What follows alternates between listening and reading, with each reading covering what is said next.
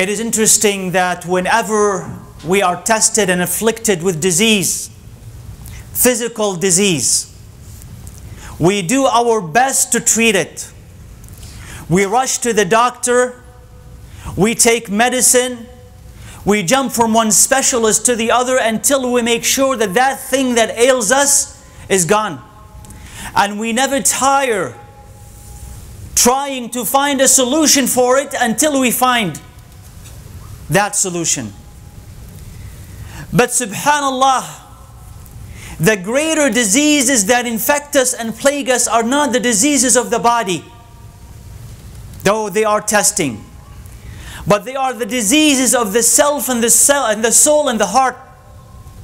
And what is ironic about it is that though they are more severe, more serious in this life and in the next, we don't seek treatment. We don't feel that they're serious enough. We let them torment them, torment us, and wreak havoc on our lives and our families and our communities and indeed the entire ummah without seeking a medicine, consulting a specialist, or seeking a solution. And today's khutbah, I want to talk about one of those diseases that, in fact, I want to say almost, if not every human heart. At least as we're living today, there is no single human being, Muslim or non Muslim, who escapes from this disease. And that disease is the disease of hasad. I don't want to talk about hasad in terms of how you protect yourself from envy in what you do and what you read.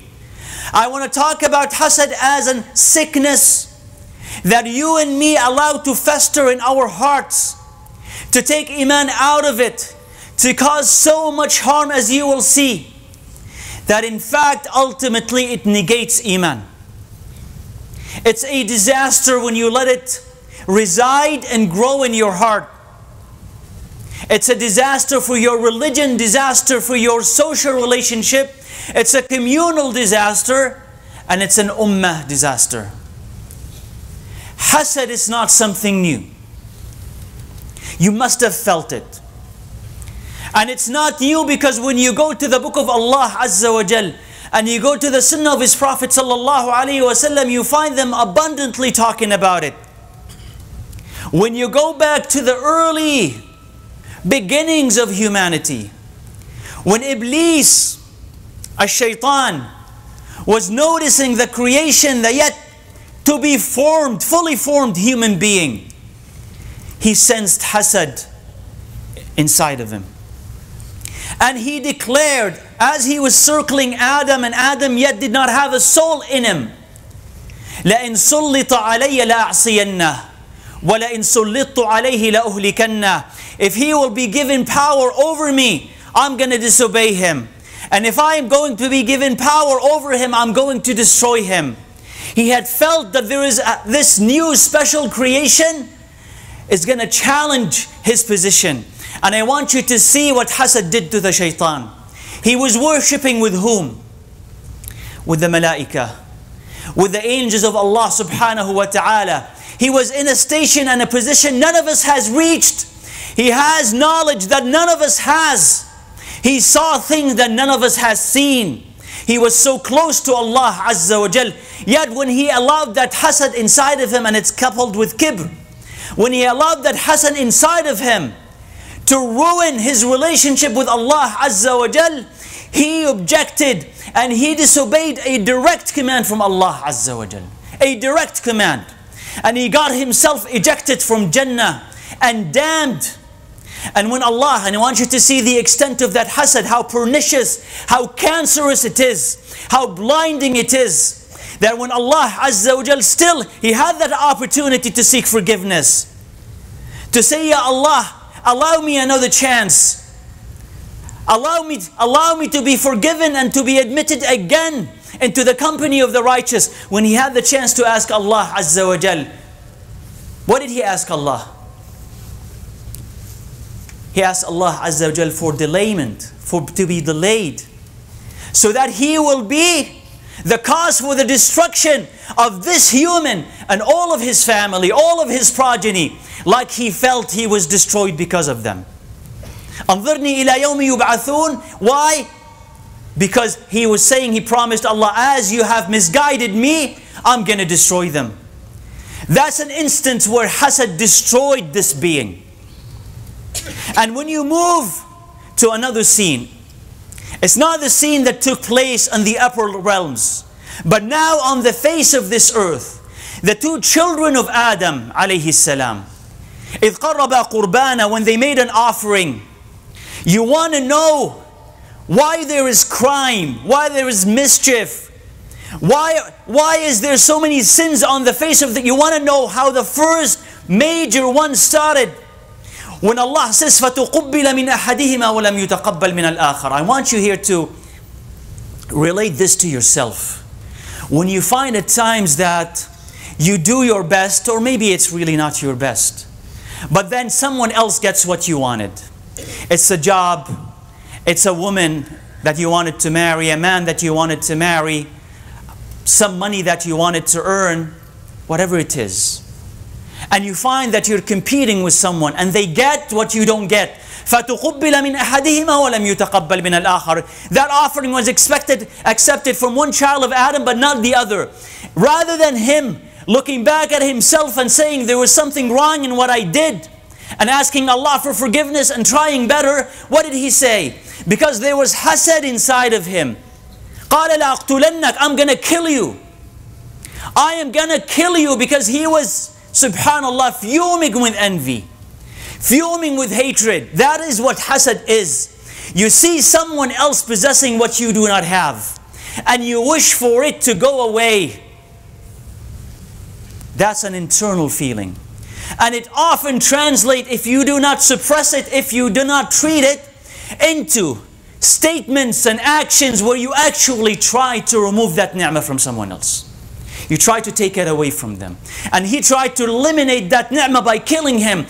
And the Prophet ﷺ told us, first in the Quran Allah tells us that he regretted that action and that he became among the losers. And then Prophet Muhammad sallallahu alaihi wasallam, and that's the consequence of hasad and following your desire. He said that every murder that takes place on the face of this earth, unjust killing, the child of Adam will carry part of that burden and part of that sin because he's the first person who introduced this sin on the face of this earth. He comes on the day of judgment with billions and upon billions of souls being killed unjustly and he is partly responsible. And the reason? Hasad. That's the destruction of hasad. Move centuries and millennia forward. And Allah tells us that the people of the book when they received Muhammad sallallahu alayhi wa alihi wasallam they rejected his message because of hasad. Am yahsuduna nasa ala ma atahum Allahu min. Allah is saying, are they envious of the favor that Allah had bestowed upon some people, upon Muhammad sallallahu alayhi wasallam and the Sahaba? It's because he came from them and not us. He was an Arab. He spoke this, but not from our own. We'll never accept him. In fact, they tried to take people, dissuade them from accepting Islam ود كثير من أهل الكتاب لو يردونكم من بعد إيمانكم كفارا حسدا They wish to remove you from Iman, to take you from Iman to disbelief. Why? Hasada. Out of envy. They look at what you have, your favors, and rather than say we can be partners in this and let us accept Iman, what do they say to themselves? This is what the envious person does. Rather than go back to Allah Azza wa Jalla and say, Yes, Ya Allah, you've given what you've given for a reason, for a wisdom. And I don't have it also for a reason and a wisdom. But your gates are always open. Go back to yourself, accuse it, purify it. Ask for forgiveness and then seek from Allah Azza wa Jalla. Rather than them doing this, they release their venom. Like a snake, they release their venom on the one that they envy and they try to kill him and destroy him. That's the hasad. You want to understand why hasad is such a problem. The Prophet ﷺ said in the hadith, لا يجتمع الإيمان والحسد في قلب مؤمن أو كما قال. In an authentic hadith, he said sallallahu alayhi wasallam, Iman and hasad do not unite together in the heart of a mu'min. It doesn't happen. That is, if you have a lot of hasad, then you understand that your iman is very weak. And if your iman is strong, it eliminates hasad from the heart. You want to know why? Hasad is built on and some assumptions. And there are four things, more or less, wallahu a'lam, that fuel hasad. And if you understand them, you'll understand why I am I and you are envious. And then you'll understand how to treat it. Hasad, first of all, is built on greed, tama. You love this world and I love this world so much. Because hasad is not or does not belong to the akhirah, to the realm of the akhirah. When you look at someone who has things that belong to the akhirah, you really do not envy them. You have ghibta. Ghibta is that you admire what they have and you wish for it without elimination of that ni'mah. You wish them to continue to enjoy the Quran, to enjoy, to continue to enjoy giving sadaqah. You see that Allah has favored them and you love that for them. And you hope that you will have this for yourself.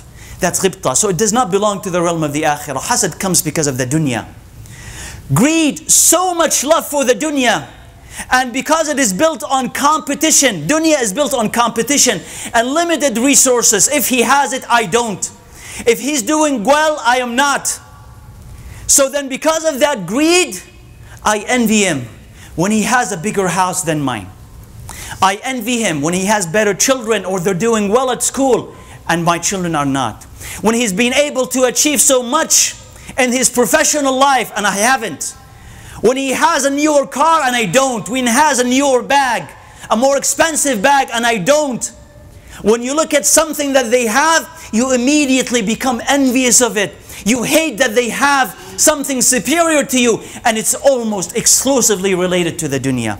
If you rather focus yourself on the akhirah and you take your attention away from the dunya, your envy will go away. Your envy will be eliminated by the will of Allah Azza wa Jal. And here there is something interesting. Allah Azza wa Jal and His Prophet Sallallahu Alaihi Wasallam do not want you to compete in this dunya and for its sake. They want you to compete for the akhirah and for its sake. Allah Azza wa Jal says in the Quran, وَفِي ذَلِكَ فَلْيَتَنَافَسِ الْمُتَنَافِسُونَ In that, in the forgiveness of Allah Azza wa Jal and His pleasure, let those who want to compete, compete. Let them compete for them something that matters even when they want to achieve something in this life. They don't want to achieve it because of their own selves. They're, because it's going to enhance them. Let them achieve it because it's going to please Allah Azza wa Jal when they meet it. That's the right type of competition. Because Muhammad sallallahu alayhi wasallam also says in a clear, authentic hadith, وَلَا تَنَافَسُوا Do not compete. Do not compete with each other, meaning you see that he has something from the dunya and your brain, brain is occupied now. I have some, I have something more expensive, bigger, better than what he or she has. Do not compete for the dunya. Compete for the akhirah. Divert your attention to it. And if وَإِذَا وَجَدْتَ مَنْ يُنَافِسُكَ فِي أَمْرِ الدُّنْيَا فَنَافِسُهُ فِي الْآخِرَةِ If you find someone competing with you, and sometimes, subhanAllah, we're plagued by those. Want to compete with us, not for anything good, but for the sake of the dunya. I have something better than you, bigger than you. It says, divert your attention to the akhirah. Compete with them, but not for the dunya. You have a bigger home, I wallahi want my bigger home to be there. You have better food, I wallahi want my better food to be there.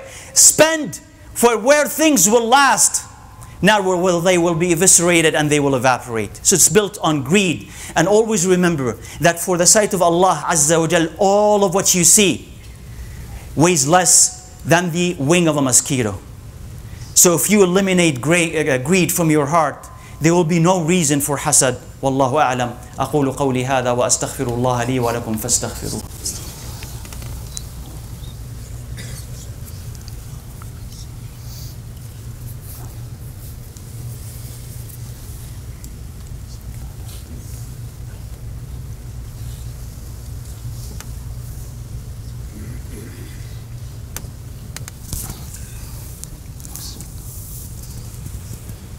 الحمد لله حمدا كثيرا طيبا مباركا فيه واصلي واسلم على رسوله محمد صلى الله عليه وعلى اله وصحبه وسلم.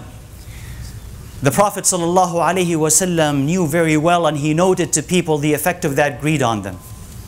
He asked once Abdul Rahman ibn Auf radiallahu anhu, How will you be? Talking to the Sahaba.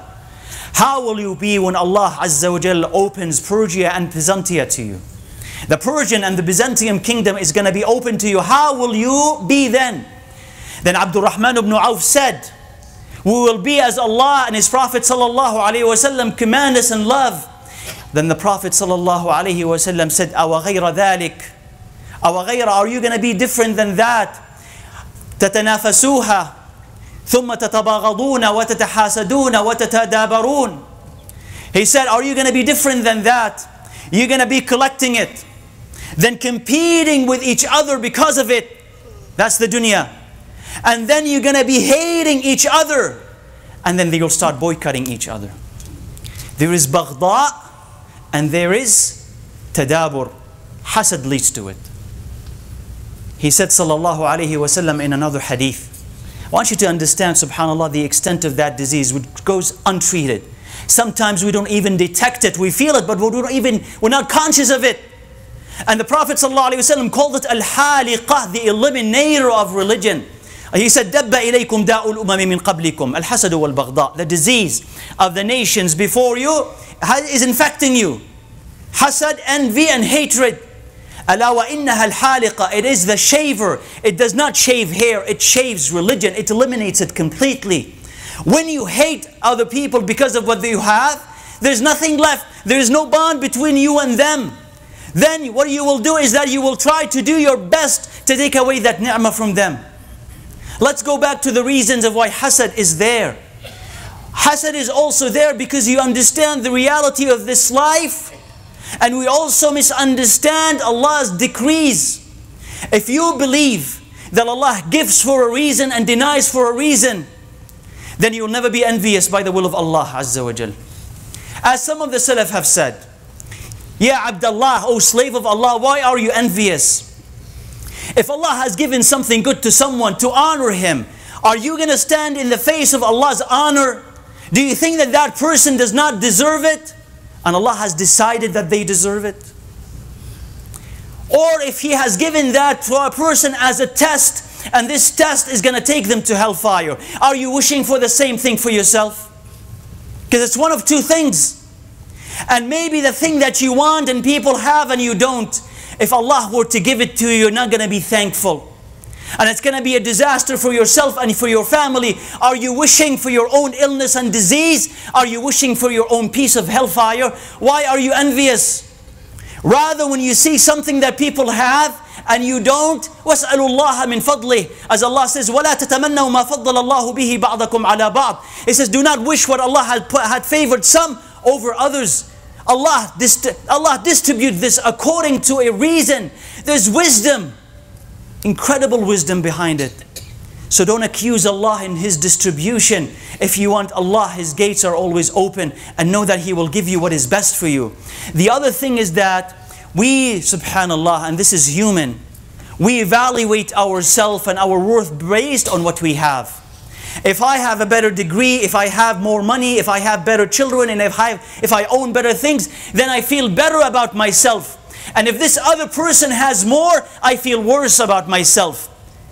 So envy tries to do what? Eliminate that competition. Make me again feel best about myself by finding the worst about this other person. And if I cannot find the worst, if I cannot spread the worst, I'll try to take that ni'mah away from him. Because if he's doing worse, I by comparison am better. But then, Ya Abdullah, slave of Allah, understand that Allah Azza wa Jal on the day of judgment is not going to classify you based on how much you have in this life. All of these categories are meaningless. It doesn't matter how famous you are. It doesn't matter how many followers or responses you get on social media. It doesn't matter how many likes you get. It does not matter how much money you have. It does not matter how incredibly well you're doing in this world or how incredibly well your children are doing or how beautiful or handsome your husband or wife are. It doesn't, all of these things. When you pass away and you meet Allah Azza wa none of these things matter. The only thing that matters is the taqwa of Allah Azza wa. So you have to look at all of these things as illusions, as distractions.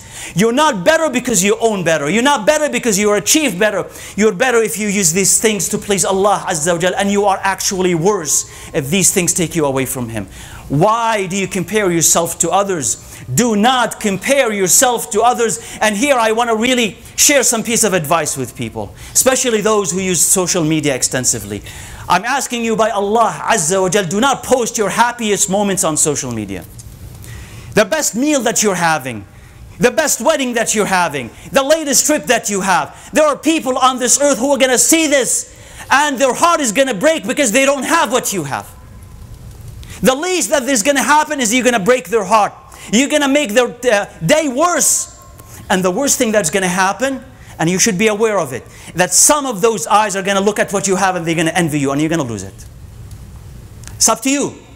You're doing two incredibly bad things. One, you're bringing envy to yourself and you're harming your brother and your sister. Share it with loved ones. Share it with ones that are close to you, not with everybody, not with those who do not have. We need some consideration and some compassion. And if you find that your exposure to social media is making you more miserable, and studies have shown that it's actually making humanity more miserable, stay away from it. Stay away from it. The more that you're on, on, on Facebook, on Twitter, the more that you see what other people have, and it's all fake, but how much people have, the more miserable you are. See it. Test it. So stop that. Stop that. The last thing is that the way that you change your situation is to ask Allah Azza Jal from His favor. Envying someone else is a sin. It's a major sin. It's a major sin. It doesn't change anything. In fact, it harms you more than it harms other people. You're the first victim of your own envy. You're the person who's hurting the most mentally, psychologically, emotionally. You're like on a bed of fire. You can't sleep well. You can't be happy because you always see other people having what you don't have. Why are you tormenting yourself? Rather, let go of all of this and know that your real life is in the hereafter. And if you want something, and I'm going to tell you, inshallah, about the treatment of hasad. But before that, I want to share with you a brief story. A brief story where, subhanAllah, the end of it is a nice proverb. لله در الحسد ما أعدله بدأ بصاحبه فقتله How incredibly just envy is. It begins with the envier and it kills him. There's a story that people share where there was this king and he had this close advisor, very close to the king. And that advisor would repeat to the king one golden piece of advice. أحسن إلى من أحسن إليك واترك من أساءك من أساء إليك تكفى إساءته. Be nice, be gracious to those who are gracious towards you and let go of those who insult you and harm you because you will be sufficed their harm and their wrongdoing. A person around the king was so envious of this person that he decided to plot against him. So what he wanted to do here, he went to the king and he told him, so and so your close advisor thinks that you have chronic bad breath. And he's telling people that. He says, how do I know that what you're telling me is true? He says, ask him for a, a counsel, a private counsel. Whisper something in his ear, you'll find that he's covering his nose and mouth. So he said, I'll do this. Then before that, that person invited that counselor to a lunch and he put so much garlic and onions in it. Then in the afternoon, the king called this advisor. And of course, when he came close to him and he wanted to talk to him, he smelled of onion and garlic, so he covered his nose and his mouth so that the king doesn't smell it. The king was then convinced, prematurely, convinced that he was telling the truth and that he was spreading these rumors about him. So he wrote to him a letter and he sealed it and he says, Take this letter to so and so. And typically, that is a letter that has in it gifts, money. So he is taking this to its destination. Then that envier saw him coming out. He said, What do you have in your hand? He says, I have a gift from the king. He says, Please give it to me. Please give it to me. He says, Fine, take it. Generous. He said, Take it. He takes it to its destination, they open it. What's written in it? the carrier of this letter, if you find him, arrest him and execute him. He says, pleading with them, stop, it's not me, it's meant for someone else, please. He says, no. He says, just going back and ask the king. He said, you want us to question the king? We're going to execute whatever he wants. Chopped his head. And they took back the body to the king. And they're bringing in the body, and the counselor, the advisor, is walking, healthy, sound. The king looks at it and he says, What is this? Come, tell me what happened. He says, As I was exiting, he asked me for this, so I gave it to him. I don't know what's in it. He said, He told me this and that about you. They're spreading these rumors about me. And he said, And he fed me this and this before I met you. He said, Come back. You're really my advisor and my counselor. And then the end of it, he said, how incredibly just envy is. It begins with the envier and it destroys him and kills them. It will destroy you if you allow it to destroy you. But you can stop it. And you can stop it inshallah. That's the last thing I want to say. You will stop it inshallah by dua. The Prophet ﷺ says that if you see something and you admire it, فَلْيُبَرِّكَ عَلَيْهِ Ask for barakah for it. That will protect that thing from envy. You're not going to envy it. But also there is in it a great wisdom. That is, instead of you wishing that that ni'mah will be eliminated, change your attitude. Ya Allah, give him more of it and bless it.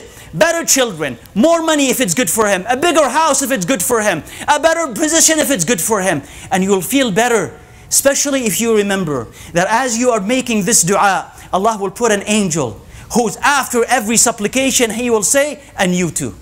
And you too. And you too. So you'll keep making dua for him and her because the angel is making dua for you. He is not losing anything and you're gaining everything. That's the, that's the medicine for envy. And at least, at least, if you feel it inside your heart, don't say anything and don't do anything with it. Ukdhum alayhi, as Al Hassan al-Basri said. Ukdhum alayhi, keep it inside. Don't say anything to attack this person. Don't do anything to attack that person. And then treat it on the inside. We ask Allah Azza wa Jal, the most merciful, the most high, to eliminate envy from our hearts and to eliminate the diseases, all the diseases of the hearts, and to make us aware of them and to help us to cure our hearts and to fill them with Iman, Ya Rabbal Alameen. Ya Allah, make us of those who purify their hearts and purify their bodies. Ya Allah, purify the Ummah of Muhammad sallallahu alayhi wasallam from the diseases of the heart. Purify our communities and our families from the diseases of the heart, Ya Rabbal Alameen.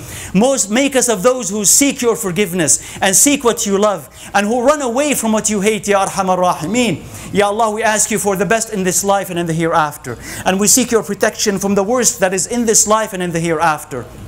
Inshallah, I just want to remind you before we finish that as the brothers spoke previously, and he said that the masjid is so close, alhamdulillah, to paying its final installment for this year to settle the debt or what has remained from the price of the masjid.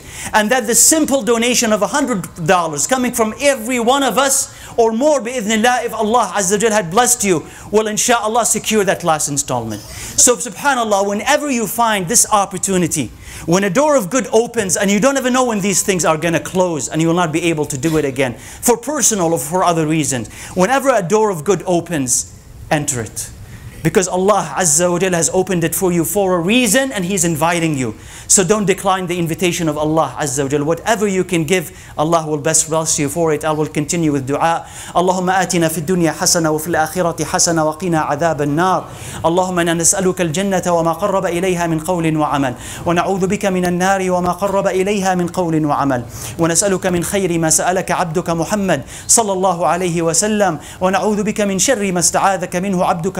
محمد صلى الله عليه وسلم. اللهم طهر لنا قلوبنا. اللهم إنا نعوذ بك من الحسد. اللهم نعوذ بك من الحسد. اللهم نعوذ بك من الحسد. اللهم نسألك الخير كله ونعوذ بك من الشر كله. اغفر لنا ذنوبنا كلها ما علمنا منها وما لم نعلم. يا حي يا قيوم برحمتك نستغيث. أصلح لنا شأننا كله. ولا تكلنا إلى أنفسنا طرفة عين. وأقم الصلاة.